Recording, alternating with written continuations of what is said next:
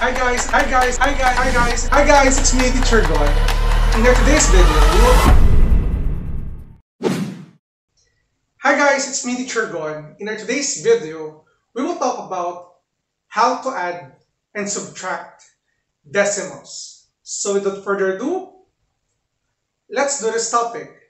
So I have here four different examples on how to add decimals and subtract decimals. So you're free to answer these questions before I start discussing it. You can press the pause button or you can play it along while I'm discussing this video. So let's get started. So the, the direction here for us to add or subtract decimals is to line up the decimal first then add and subtract. So we have here number 1, we have 5.34 plus 4.11.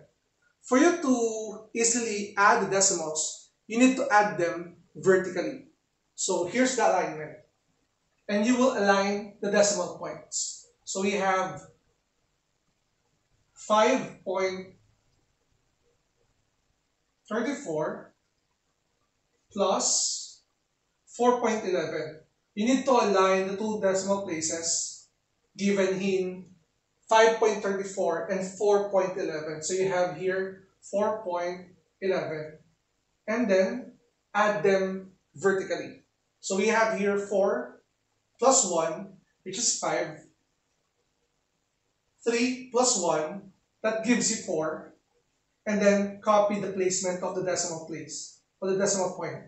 And then lastly, 5 plus 4, that will give you 9. Therefore, the sum of 5.34 plus 4.11 is simply 9.45. I hope you learned something from the first example above. And again, you're free to pause the video and try item number 2. So let's get going about in answering number 2 we have 28.2 plus 6.13. Again, we have 28.2 plus 6.13. We need to align them vertically. We have 28.2 plus 6.13. As you can see, I aligned their decimal places or their decimal points. So we can align them and then add them vertically. As you can see, wala siyang kasama dito. So we can put here a placeholder 0. Again, you can put 0 here if the given are decimals. But in the whole number, hindi mo pwedeng gawin yun. Okay? So, to add this, we have 0 plus 3. This, that will give you 3. And then 2 plus 1 that will give you 3. Then copy the decimal point. So add 8 plus 6, that is 14. So you put here 4 and then carry 1. Then simply add 2 and 1. That's why you will have here 3.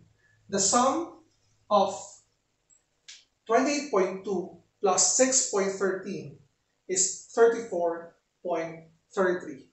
I hope you learned something from the first two examples wherein we discussed how to add decimals. Now let's move on with the next examples. We are given 34.6 minus 8.65. So what you need to do is to align them vertically so that we can subtract them. So what will happen here is this. You need to copy 34.6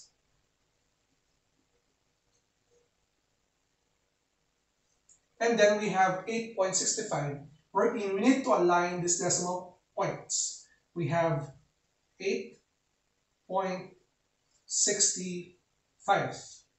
So, since we have a space here, we need to put a placeholder 0, wherein we can subtract the numbers. We have 0 minus 5. We need to borrow 1 from 6. So this will become 10, and this is 5. So we have 10 minus 5 that is 5. Let's move on to the next place. We have 5 minus 6 cannot be, so we need to borrow 1 again here, so it will become 15, and this will become 3. So we have 15 minus 6. This will give you the answer of 9. And copy the decimal place, or decimal point, and as you can see, 3 minus 8 cannot be, so we need to borrow 1 here, it will become 2, and then this will become 13.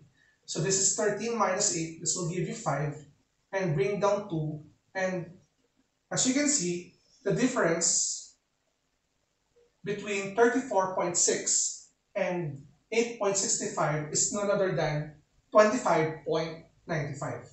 Now, let's move on with item number 4.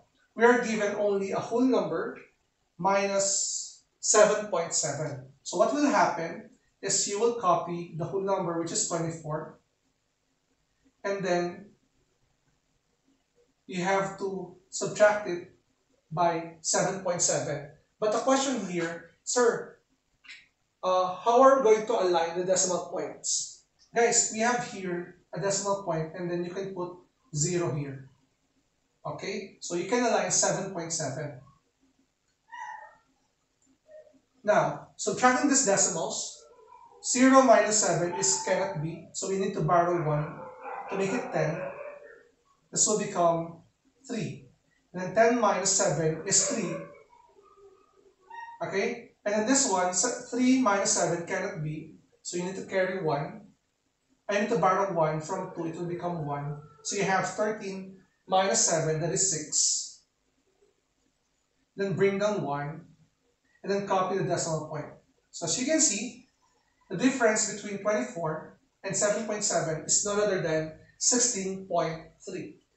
I hope guys you learned something from this video on how to add and subtract decimals.